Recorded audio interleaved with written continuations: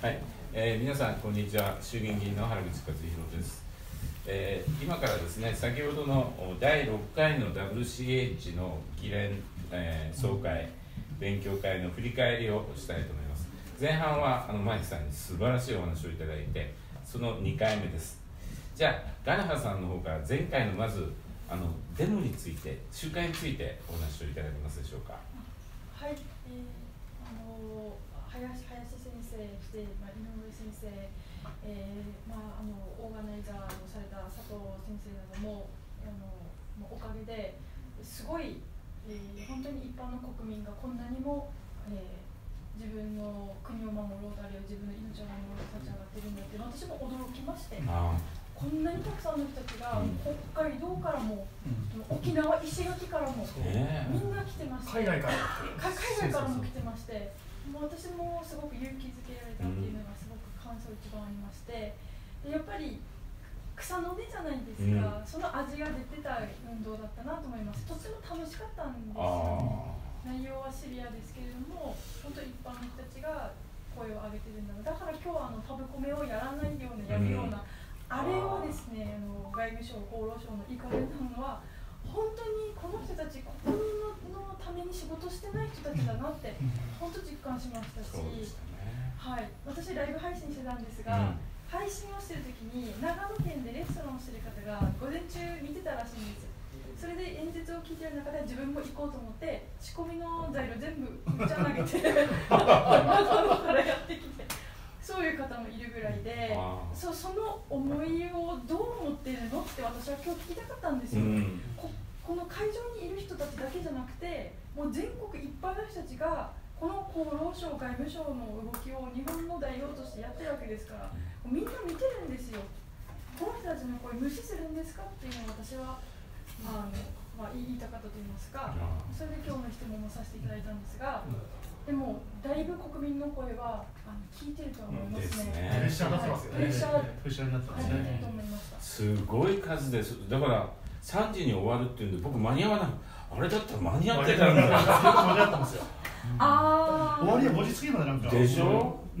私が第一定団だったんですけど、そううんあの1時間ちょっとかかって帰ってきた時まだの半分以上が公園に残ってたのでねまあそういう状況まだ公園いっぱいでしたね、はいだったらね、本当に。先生、次がありますいやいや、次次は日比谷公園そうですねですねはい。ありがとうございます。それで今日のはい。振り返りはい一言私もでもの話。あもちろんもちろんはい。えーガラハさんの話に続きまして老若男女各世代が来てた。ね。そ若い人も来てた、うん。で子連れが多かった。とはい。それからでも初体験という人が多かったです。ああそうそう。6割7割。はい7割8割かもしれませんね。それから、あのー打った人も打てない人も来てた、うん。被害に遭った方々もいらっしゃってた、うん。それからちょっとごめんなさい党派を超えて、ええ。国民一人一人ということで、あの本当に国民運動であったなと思いますね、あとはあの狙いもかなり達成されたかなと、うん。えー我々があの声を上げるということができたと、うん。それからこれによって国内またさらに目覚めた人も増えて、ねそれから国際連携、うん。我々発信していることができた、うん。あのヨンさんのおかげもありますしね、それからこれで新しい潮流ができたとうん。いうことで、で一言次のはい。5月31日に今あの原口先生からご紹介いただいたように、えー5月31日午後。うん。いい未来55うん。いい未来いい未来午後。いい未来午後。5月31日午後。1時からうん。9時まで、1時から9時まで。夜の9時まで。でで日比谷公園大音楽堂。おををメイン会場にすごい。集会で海外から10人から20人ですねはい。著名な方を呼んでいただいて海外の方も登壇いただいてあでビッグイベント。あまマイケルさんも？そう。あはい。あのあのヨーロッパアメリカ。手配していただいて。あで、えー場合によったらトランプ政権の関係者とかロバート・ケネディ・ジュニアの関係者もお呼びいただく。おおすごい。Many famous influencers will come from United States to get together. May 31. We can bring some. Yeah. ああグレイで great. それを全世界に中継すると同時に、うん。今検討してもらっているのはジュネーブで大会が開かれる、うん。5月31日それとジョイジョイントする。ということも検討していただいてます、それで、えーデモの方はあ日比谷公園から厚労省を回って、それから銀座、うん。えー前回の池袋の倍くらいの距離にそうですね。多分なると思います、次は絶対行くぞ。ええぜひお願いします。先頭でお願いします、はいで推定人数はいろんな規制がある関係でちょっと言いにくいんですが、えまあ、ちょっと言っちゃうと前回の倍以上かなと。見込まれる素晴らしいね、はい。ということを。あマイケルさんがあのこにも感想を前回のデモの。Um, could, could you give us a comment about the demonstration that happened on the, uh, The last- Wow, we only expected three or four hundred people. and, それは何でもねえよ and then we showed up and they were going all over the the line was so long, Yeah, right? yeah. And and then it was how many? Nineteen or twenty thousand. That was unbelievable, and the mood was very good. It was ve- felt very high energy, very positive, uh, and you can you can sense. Oh, I'm sorry, you have to translate. 300、400名の、まあ、会場を用意してたということでそれぐらいを予想 していたはずなのにもうすごい熱ができまして、えー、1万9000、2万人もうすごい数が来ておりました。Yeah, it was very good. And so I started getting messages while Masako and others were live streaming. People in America were seeing it. あでアメリカにいる人たちが日本のライブ配信を同時中継で見ていました。They were sending me messages. They're like, "Did you see this?" I'm like, "Yes, look, I'm in it." They're like- 国際連携ですよね。あねえ。ありがとうございます。じゃあ、えー先生、はい。今日の。今日の、はい。はい。えーっとですね、あのーまず私の質問に答えてなかった、いや。全く本質的に答えてない、それから、あのー外務省の方の答えの中で、議論されてないって言いました懸念事項について議論されてないんです。よ、これは嘘で、交渉中で議論はされてるはずですよね。そうですよね。57条のところ。そうそうそう。だから100%嘘ついてるそれから強制云々もないっていう話ですが私がちょっと話しましたけど武見さんは2021年にすでに IHR で強制させるって言ってるんですよ。言ってます。そうそれであの資料の中にもねえ法的拘束力をねそれ僕ら言いましたよね。ですよね。かつ武見さんその時にこれが自民党の政策だって断言してるんですよ。え2021年4月のウェウェビナーで。で厚労省外務省のこう講演の番組です。ーはだからまあ100%嘘を言ってた。で怒り浸透になったんだけどこの辺で抑えて。あいや偉いなと思って僕は髪の毛がもう逆立って終わった後に問い詰められたんですよ。あの利益相反なんてねそんなあの審議会の先生のために不名誉だと。なんてこと言うんだと。それであのーまああの柔らかい表情で最後の話したんですけどあのちょっと感じたのはですね彼ら哀れだなと、その役員の方々ね。で目がうつろでうん。覇気がなくて下向いてましたね、全員マスクしてきてるでしょ、で昔公僕っていう言葉がありましたけどね、あの公僕ね、国民のために誇り高いね、今松竹だなと、社畜って言葉があるけど、松松竹。竹総長の長で若い人たちだからね。我々もあの頑張ってくれよって言わなきゃいけないんですが半分ちょっと軽蔑しちゃいましたね、そういう気持ちが出てね。だけども彼らに立ち上がってほしい。5月31日厚労省の前に膨大な国民が集まるわけなので、うん。それを平日ですからうん見てほしいし、できたら一緒に参加して。退職してもらっても構わないね、だってあんまり言っちゃって。いけないけどね。ただ僕に詰め寄った方々はやっぱあれを本気で例のお注射は効果があるって思い込んでいるんですよ。まあ彼らはサイエンティストではないですからね。あの委員会のえあの大先生方がおっしゃってることをそのまま鵜呑みにしてるかあるいは嘘であることは分かってても彼らが最終的に責任を言ってるんで、まあ、あのドクターではないので専門家の言うことに従うのがあの正しいアクションプランだというふうな、まあ、エクスキューズをやってるわけね。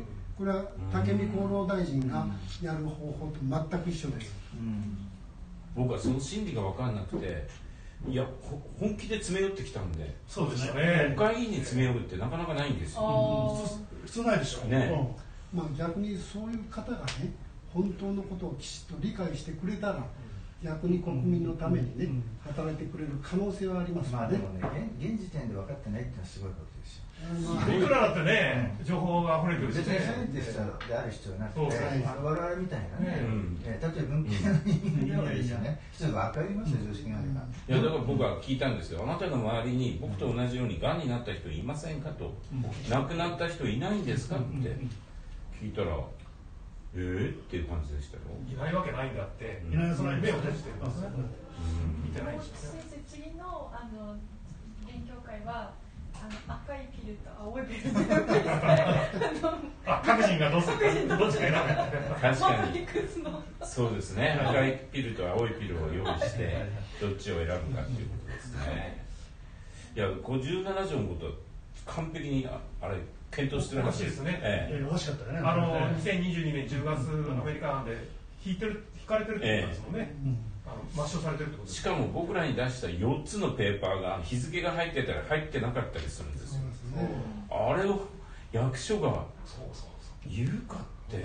まあそれは先生ね今回のお注射でもあの打ったけれども日にちを忘れた人たちをあの打ってないことにして計算したらねあの打った人の方があの病気にかからなかったというデータを出してそれがあの名古屋大学の名誉教授のね小島先生が指摘しておかしい言って計算し直したらもう全然差がないか年齢によってはむしろ感染しやすいということがねでもこれまだこれもダメなんですね。横へ避けた人たちを打った側に入れると圧倒的に感染が爆発的に増えていると。そういう事実は彼らは知ってるわけそういう意味ではね完全にデータ捏造をのおそらく上から指令されてやってるんでですすよよね。ですよね。そうでなければねあの何回も同じようなことはやりませんそうですそれがあの使用期限が切れたのお注射をねマジックで消して1ヶ月伸ばして打たしているというそういうことと同じ。あの遺伝子がやってるわけですね。しかも今回6000億円分以上はいはい廃棄で僕はだから国会で廃棄するなと、ちょっと訳してもらっていいですか Ah, so uh, uh, I think I told you before that recently uh, Japanese government decided to throw away all the vaccines or poisons. We need to keep a few cases. But they they, uh, they decided, but he insisted that we should not throw away. Don't throw it away. That's That's evidence. how. ええエビデンスいやいやそうなんですよエエビデンスだから捨てちゃいけないって井上先生からアドバイスいただいて国会で釘刺したんです、うんそれ翌日に捨ててるんです The very next day he talked that we should not abandon. The very next day they did. Yeah, If they, I was wondering if if they would have a fire, right? You know what I mean? They would. So they threw them all away the next day, いやいや right? インクレディブ Yeah. ということ They で know criminal actions have taken place in あ murder. の物は全国にあるわけですね。うんで全国の中にはやはり良心的なね、あの役員もおられるとそういう人たちがこっそりね、あの捨てずにあのキープして、Mm. やがて政府としてそれをねあの解析せざるを得ないような国民の民意があの沸騰した時にそれをエビデンスとして使えるような、まあ、そういう戦い方をねぜひこの,、はい。あの動画をご覧になっている皆さん方もねあのご自分が住んでいる地域の国会議員さんあるいはあの市会議員さんね県会議員さんたちにきちっとそれを伝えると、まあ、そういうことをする政治家こそ我々は次に自分たちの代表として選びたいというメッセージをね伝えていただきたいですね。こあの国民の代表ですからあの6600億あったら例えばインボイスだったら3年間入れる必要ないんです。よ、1700億です。600 billion yen. アバンダン.だから証拠隠滅ですよね、どうぞ。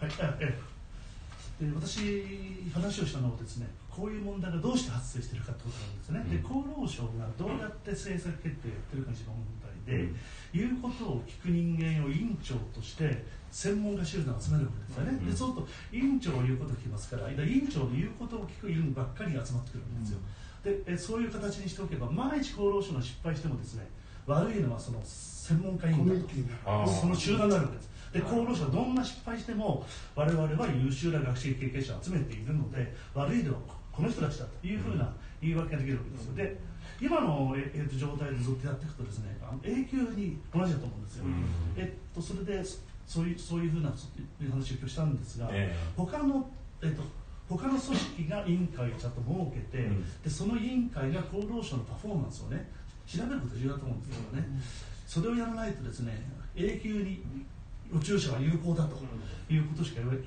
言わないわけですしであの少しの論文をです、ね、読めればねあのスパイクタンパク質がいかに有毒かという情報はネットにいっぱいありますし、いくらでも論文あるんですよ。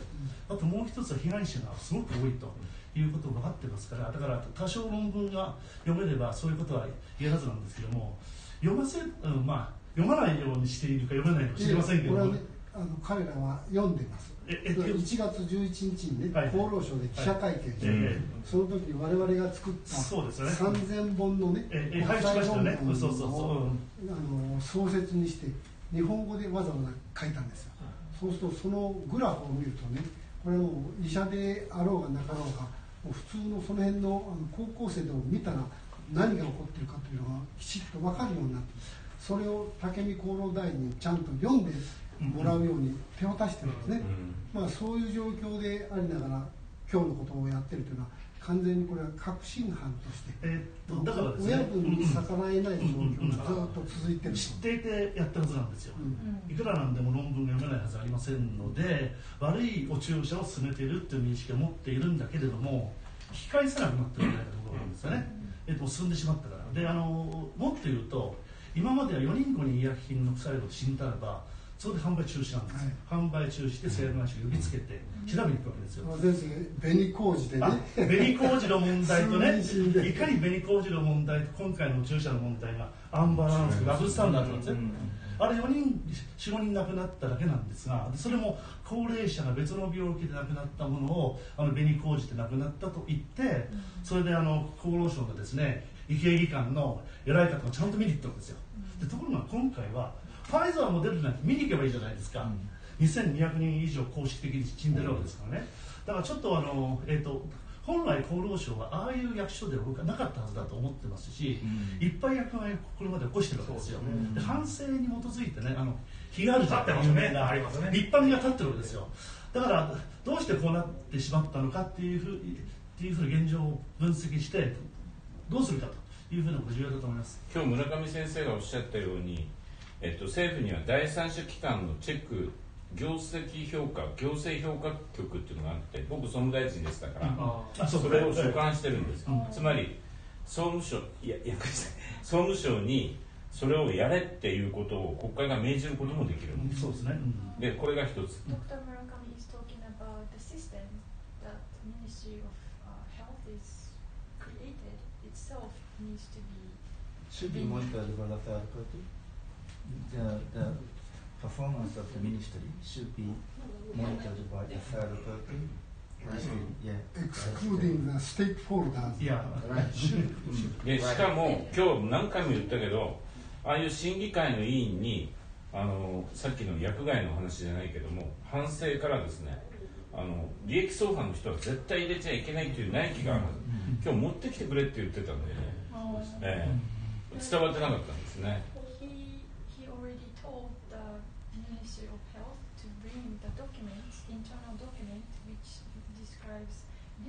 Yeah, which bans the, the, the selection of people in a conflict of interest.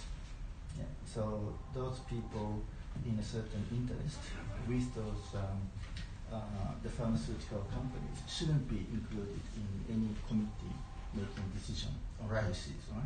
Yeah. So there, there should be an internal rule. He didn't know, he knew because he's the minister, yeah, himself. So he asked those bureaucrats to bring that one in today, but they didn't. だからだからまあそこは伝わってなかったここっちの責任だと思うけどもしかし明らかに今日先生おっしゃったように3000の論文も読んでないようないやもう渡してるんですよちゃんとねうんそうそその方々が専門家でしかもはいこの方々が今あの例のお注射被害の救済のやつも入り口を狭狭めてるんですよね。まあ、これ明らかになったら巨大な民事刑事への訴訟があります。ものすごいことになりますよね。先週実際にあの、ね始まりました訴訟がね始まりですもう海外ではもうそこら中で訴訟が起こってるんですよ、えっと、だから私言ったのは今の状態でやっていくと皆さんが恨まれますよと、遺族被害者に恨まれるからいい加減変えないとダメよって言ったんですねそうですね。であのほらお子さんがし小学校進学行ってるじゃないですか。えお父さん何してるのって言われた時にうちのお父さんは厚労省に勤めてるというふうに言った瞬間に広い意味で見られるようになってもいいんですか？となんですそうなりますよね。そうなりますよね。えこれ命がね奪われてる話ですからね。海外はどうですか？もういっぱい訴訟あるでしょ？しかもアメリカ議会とかでもファイあのファファイとかあれよももとかを呼んでますよね。Uh, do you know any situation about uh, what's happening in the United States? For example, uh, Congress do hearings from the pharmaceutical company. And are there many litigations already happening in the United States? Mm, Actually, I'm not an expert on that, but I can definitely put you in immediate contact with those who know a lot more. Mm. Yeah, it's uh, different from one state to another. まあその辺よく知ってる人間をね紹介すると言ってますけどね。アメリカの議会でこういうものに熱しまあもちろんあのマガの人たちが中心ですよねなんでデモクラッツここまでひどくなったんだろう Why do you think Democrats is, is bad? Well, yeah. I don't know if it's mental illness or stupidity. それも訳せ訳できない because they're clearly destroying themselves. ええええ Right. コメントアンサーね Uh, the result uh, came from War Guild Information Program, started from 90, uh, 78 years ago, when we failed in the Second World War. yeah. いや Uh, he's an expert in that あ field. まあね、それは日本で確かにそういうプログラムがはい行われたわけですけどね、ウォーギルティンフォーメーションプログラム。でも、うんまあアメリカでなぜこのデモクラット民主党をここまで極左化しているかということに対しては明確な説明はないと。まあ、精神的病もしくは究極の愚かさ先生訳さないでくだあさい大事なんであいやそこはちょっとお客さんのマネーの問題です。えーメンタルよりもマネうー。ん、お金の問題もあるでしょうしね。うん。But they are working on the globalist agenda, right? Democrats. Oh, very much. And and the Republicans, right? I mean, it's a uniparty. Uh, for instance, Greg Abbott, the governor of Texas, Mhm. he's supposedly a uh, Republican, but he's a member of the World Economic Forum. He's on their website.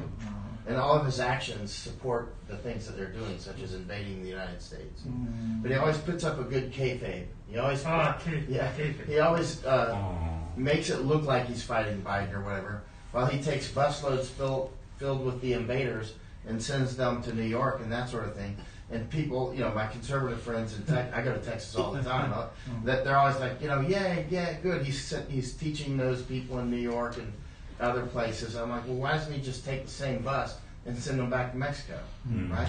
Oh. He's sending them deeper into our bloodstream, right?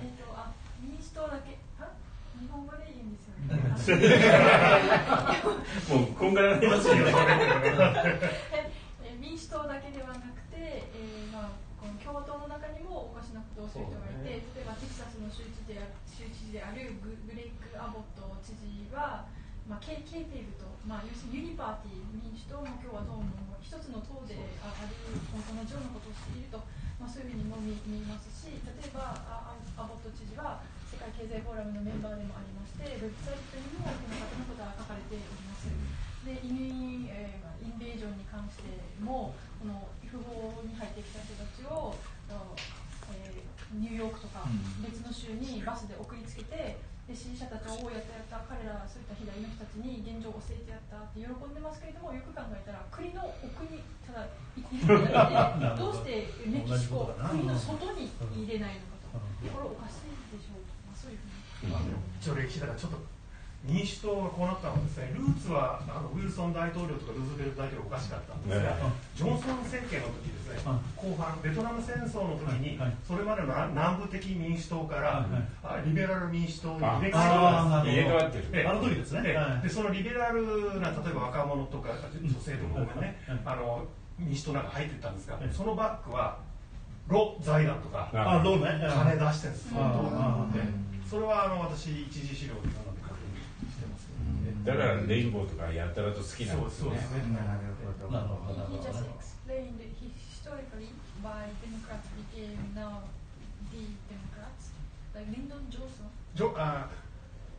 ね。最初話したのはウィルソン大統領とルーズベルトがおかしかったんだけども、特にジョンソン大統領の時ね、変質してると。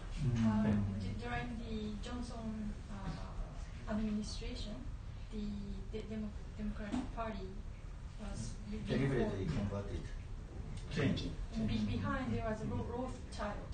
Right. He has all the uh, source documents and he, he's been researching But then and you he said has pu- published the book too. Right.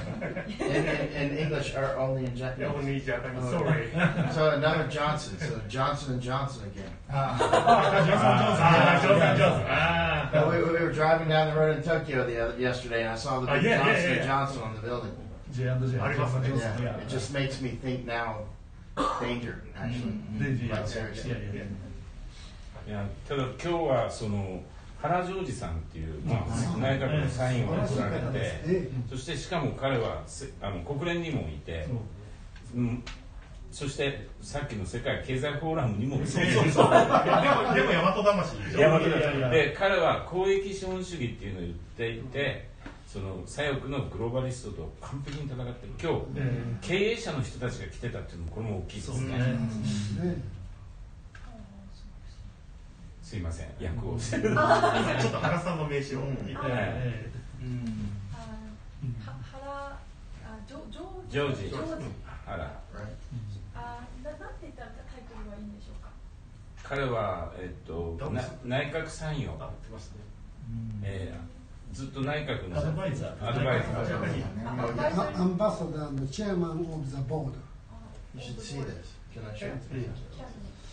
And the member of Mm. Davos Masako tracked down Klaus Schwab in Davos. Yeah. Stood in the cold all day. Yeah. いや Right. She chairs. Right.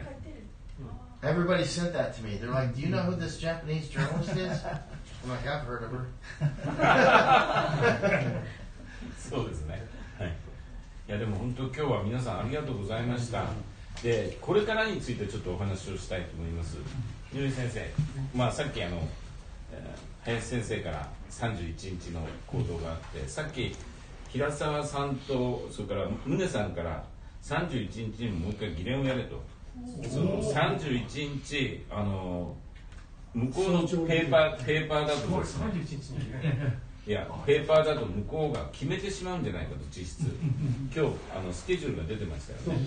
あそうあそうですね。えで今度は大臣レベルまでやっぱり波状的にあの国会でやらないと止まらないんじゃないかと、ええ。それを宗さんが鈴木宗男さんが言いました、すいません。27日からの総会ですから総会ですよね。そうです、ええ。そう27日から総5月会です。27日から。で28日が補欠選挙なんで、忙しい。ですえー、31日国会議員はいるかどうかわかんないですまあの地元に戻ってるかもわかんないけどやる価値があるかなと思いますね、はい There's going to be another uh, hearing like today on May 31st. On May 31st. Okay, here. え So it must be before the protest. えエプリルあ、April, えエプリル April 31st. Oh, April 31st. え There is no April 31st. here. Here. Is there? メインですねメインですね、メインえ31 May, May 31st のに、あの、いやいや今月今月の今31日。月今月のね、もう一度その議連をやるとあさっきのは5月ですか？えっと WHA は総会は5月の27から。31ですよね。いやいやで、でもデモが5月日デモは5月31日。あ5月31日。April 31st, we're to be late. 僕が言ってるのは4月31日。4月は30日。が最後です。30日。あそうかそうか。間違った30日だね。ええ。こんがらが。し頭がこんがらがし相当広さいやいやあ今日いかに浸透で話し合ってるんですかそうだったあ4月30日当たってるんでしょうか。30日ですね。30え April. April. April April えちょちょっとまだ決まってないんで決まったらあ、お伝えします。な、な、オフィシャルで。だって4月30日いいですね。いやいいですね大事ですね。火曜日ですね。火曜日ですね。ですねあので今後のちょっとこれをどうやって止めるかということで、あのもうじき、えークジラのご飯が来ますんで。そういうわけで。先生、えやっぱりこれね国民が持ってる唯一の武器は投票ですよね。です一票です一票そうですからねこのちゃんと国民のサイドに立って命を守ってくれる国民を選ぶと、はい。議員を選ぶとこれがもうね我々ができるねラストチャンスになると思います、まあ、そういう意味ではね、まあ、国会議員はねあの仕事をする時はここでやりますけれども普段はその支持者は全部地方にいるわけですね。ですから地方の住民がの議員事務所に電話なりのファックスなりあるいはメールでのパンデミック条約 IHR あるいはお注射をどういうふうに考えてあなたはどうしようとしてるかとどうやったら国民を守れるかということを一人一人が電話したりして聞く、まあ、そしてそれに対してきちっとのお勉強しての対応してくれる議員だけを私たちはの選挙で選べますと。この一言しか今の霞が関を動かすの力学的な力はないんですね、まあ、そういう意味では今度のの、まあ、5月31日のデモも含めて、まあ、この人たちが全員もう全国から来ますからね、まあ、そういうことのメッセージを伝えるの仲間になっていただいてそれでもってやっぱり全国民が立ち上がらなければ国会議員も地方議員も動かないと。やっぱり今こそ日本国民として自分たちの一票のね、武器を使う時が来たと。これはラストチャンスである。そうですね。そういうせあの、まあ、切迫感を持っての伝えることが非常に大事ですね。Uh, so what, how we can fight is with our vote. We only uh, Mm, vote so, for the yeah. ones who can uh, fight against this pandemic. final weapon is voting. Right. Yeah, so, Yes. yeah, we have to make best out of it this time Mm. to make sure we make change. 今日もはい平沢さんが、まあ、最初は僕に騙されてっていうかああ言ってましたね最初に、まあ、僕は来いって言うから来たけどもう地域を回ったらもう本当頑張ってくれと言われたと、あれは非常にいい言葉でしたね、私のちょっとフランスというかはい。イメージをどうぞ。スピーチあのスケジュールはこんな感じでですね、今回の総会の前の今こちらの第一次国民運動で、はい。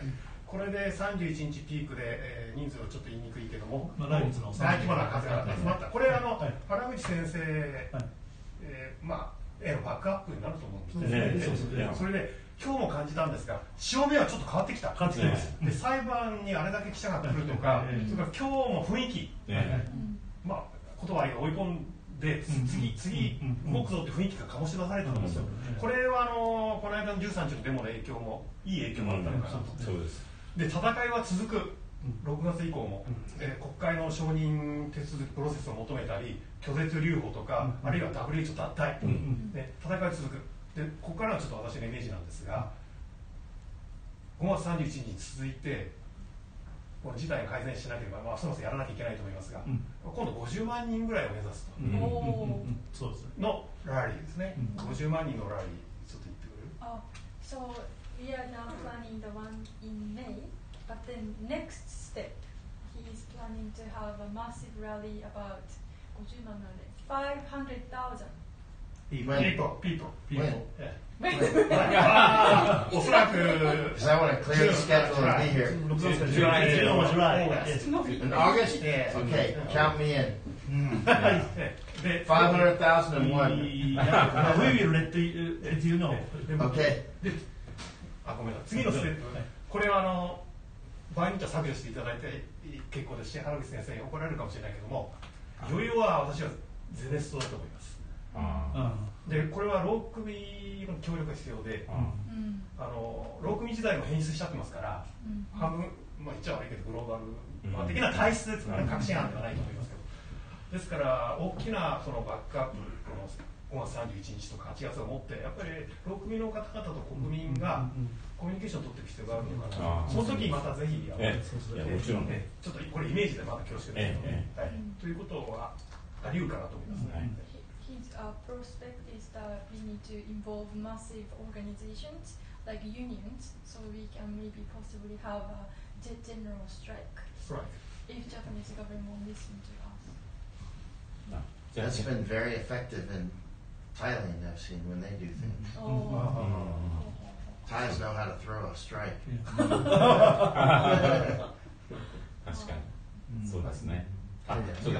き聞いてる人のために役をお願いします。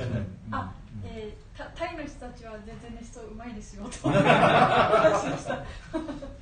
学びに行きましょう。山本先生あこれこれこれからちょっと運動の方向っていうか、もう今すごい数の方がご覧になってるんで、うんうんその方々に向けてメッセージを。そうですね、あのまあ、今日来られた官僚の方々もですね、まあ、目が死んでいると、心がないと。というのは、まあ、彼らは、まあ、あの官僚ですから、まあ、ディシジョンメーカーでは本来ないわけですね、で自分たちが決められないこと、まあ、その自分たちのこの活動範囲、フレームワークというものは、まあまあ、行政府によって決められているわけですよね、でその自分たちは枠の中にいながら質問する、いろいろ質問されるといる意味では非常に気の毒なシチュエーション。いや、日のところは広いのなんうんです。でなので、えーまあ、当然、まあ、ああいううつろな目になってしまって空虚な言葉ばっかり出てくるという状況に陥っているわけですね。しかし彼らは官僚ですからあの非常に個別細かいことはよく承知しているはずなわけですそれ承知ですから。ですからあの、まあ、彼らがその国会答弁的にですね、えーそれについて議論されておりませんとか、ね、そういうことはないように努力して鋭意努力してますとかそういう非常に曖昧なことを言うじゃないですか。でそれに対して、まあ、ちょっと今日は短い質問しましたけれどもいやそういうことはその個別具体的な情報で担保されてなければ何の意味もないんだからということで、えー今日はあえて57条。これはどうなっているのかということを質問したわけです。ですからそのように、まあ、テクニカルな相手に対してのビューロクラっていうあーそれに対してはこちらも。テクニカルに詰めるというですね、あのいうことも必要なんだろうと思うわけです。ですからそういうこともお織り込みながらですね、えーしっかりと現地を取っていくということですね。あのそまあその一番大事なのは国民のお意識と覚醒とそ,、れからまあパッション、情熱ですよね。この国を守ろうとすると。えー、それプラスですね、オントップでやはりテクニカルな相手に対してはテクニカルなあ対応もしていくと、こういうことも加えていきたいというふうに思います。はい。いや素晴らしいご質問で。いや、よかったですね。ねあのええええようやく厚労省の人たちもまずいんじゃないかという認識をしてたと思うんですよ。で、恨まれるね、攻撃されるという、そういう状況に来てるんですが、もう一度反省していただいて、どういうふうな学識経験者に呼べばいいのかということを反省してほしいと思うんですよね。で、あそこが入れ替わらないと永久に考えるわけですよ。で、ねあそこはがんだと思います。えっと、だからもう一つ第三審議会のようなもの、目標っていうのがありますし、えっと、まあ、そういうことをやりながら、いかに国民にね、あの情報を広めていって、運動を盛り上げていくかというのが重要だと思います。そういう意味ではそういうコミュニティをね、ええ。どのようにして選んでるかというえあのノウハウをやはり国会議員が把握してそういうおかしな利益相反が起こらないような指導をすると、うん。まあ、あるいはえ監視すると、ええこういう機構がないと必ずごそごそっとやってええしまいますね。どうやって選んだんですかって質問されるといいと思うんですよ。厚労省が書いていくつかの専門家委員会なんですよね。あれはどういうプロセスでどういう理由でどう選んだんですかと。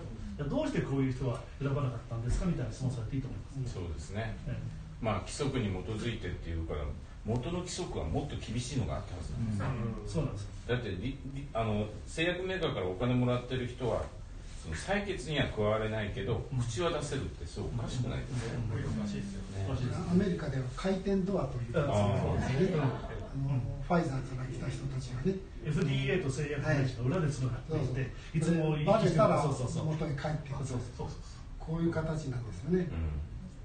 う日本でも同じことが、まあ、日本はねあのなかなかバレないとええそれはやっぱり国会議員や議員さん。たちがそういうことをきちっとあの問い詰めないからね、ん。やりたい放題向こう側の一味になってるのもいますから、ね、まあ自分が国会議員でこういうの。はい。ガナンさんあの全国の皆さんに、あそうですね。ええ。最後マイクさんに。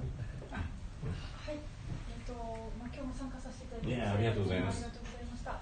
今日参加しましてぱりあの本当のらりくらりとまあ役人らしい回答が。ありましたけれどもでもそんな中でもそのま間であったりとか喋ってない時に国民の声が本当に届いてるんだなっていうのは私はすごく感じました。ありましたよね。いや、はい。わかりました、今日もね。はい、えーなので本当我々のその国民の声は確実にどんどんどんどん前に進んでいるというのを私も実感しましたのでより多くの人が本当立ち上がって参加してくださって対に我が身を守るためにあの緑茶飲むとかいろんなの勉強しながら 本当いやいやいやいやいや。じじじあの31日。あ三時はいわかりました。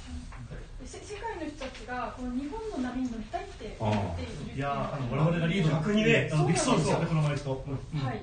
そうなんですね。ですからぜひその日本のお侍魂ですよ本当そう。そうそう侍はいるんだ。と見せつけてやりましょう。そうですね。世界に勇気を与える日本。あー。あ、いいね。じゃあマイクのメッセージ。マイクさんのメッセージ From uh, la- lastly, if you would like to say anything. Yes. To Japanese people. Oh, yes. Yeah. Uh, I, I would like to photograph this and put it in English and invite as many Americans and Europeans over as possible. Wow, uh, great. 留学して、えー、世界中の人、アメリカ人、ヨーロッパ人の人にぜひ集結してくれと言いたいと思います。オンラインで参加してほしい。オンライン参加。オンライン参加もあるんですよね。It's very important that Japan stand up. We're in a state of war. It is actually a state of war. 我々は今戦時ですから、日本が立ち上がるのは非常に重要です。And it's time to start behaving as if we're in a state of war. ですから、まあ、戦時にいると感じて、えー行動をしていきましょう。Members of the government who will not visit Yasukuni are not worth your time. 靖国に行かない国会議員はあなたののかあなたの時間を費やする価値のうれない方嬉しいこと言ってくれる. Oh, yes. Uh, I, I, I say that from the deepest part of my heart. 本当に心の底からそう思っています泣けてきますねね本当に Most politicians in United States go to Arlington Cemetery Right. in New York. Right. It's the same with uh, Yeah, yeah. Yasukuni Shrine. でも先生なんか私も感じたんですが先の大戦は本当は協力しなければならなかった国同士が戦いさせられたじゃないですか。本当になんかそれが手をつないで今ね戦ってあそうそう今手をつなぐそう時代に来ましたねついにね。そうそうそう。だからールゴール街の策略はもう見破られてね。そう。え So we are talking in the past war, we were the ones who need to actually cooperate, but they turned us against each other and we fought. So now we are, in, in this sense, we are now fighting in the long-lasting war. We need a new alliance. Final, finally, the ones we need to collaborate coming together. It's Interesting. The only I've spent a lot of years in wars when yeah, I was yeah, much thinner, yeah, right? The only good thing about wars I've noticed is you do make good friends. Mm-hmm. Yeah. Right? And you realize who your friends are not, right? Mm-hmm. So cowards, cowards are natural traitors. Mm. That's very important. 私がまだ細かった時にいろんな、えーまあ、せせ戦戦争のあれをしてきました、調査してきましたけれども、えーまあ、このあ臆病者は、えーほ本来のまあ元来の裏切り者、まあ自然にですねあの裏切るんですね、裏切り臆病者者うん臆病者がねであの戦争において唯一いいことはですね仲間ができるうんそうですね。ということですね Uh, yeah. And, any politician who will not go to Yasukuni yeah. is a coward. Mm-hmm. And they are a natural traitor. Mm-hmm. Mm-hmm. That should be the litmus test. Yeah. Mm-hmm. That's really important. This is life and death. Mm. So the only silver lining I found around the mushroom cloud of war, actually, is that you can form very strong alliances that last for the rest of your life.